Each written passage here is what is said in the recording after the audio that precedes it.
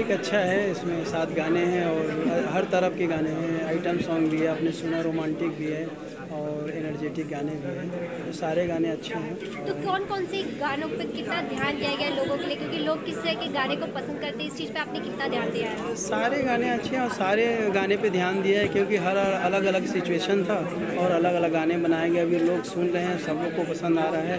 तो उम्मीद है सब गाने अच्छे हिट होंगे। तो फ़िल्म में ऐसा होता है कि बहुत सारे सॉन्ग होते हैं लेकिन एक सॉन्ग ऐसा होता है जो लोगों के लफ्ज़ पे हमेशा गुनगुनाते हैं। तो इस फ़िल्म का वो कौन सा सॉन्ग होगा मुझे लगता है सारे गाने अच्छे और अलग अलग लोग हैं अलग अलग सुन रहे हैं। और इसमें एक गाना भी है, मैं दो लाइन सुनाता हूँ। धीरे धीरे बन के नशा छाने लगे छाने लगे। जादू कहूँ, क्या मैं कहूँ? नस नस में समाने लगे। धीरे धीरे बन के नशा छाने लगे छाने लगे। बेताबियाँ हैं, बेचैनियाँ हैं, दिल तेरे जैसे तन्हाइयाँ हैं।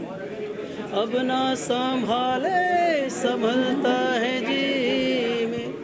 हर सुमेरे तेरी परछाइयाँ हैं परछाइयाँ हैं।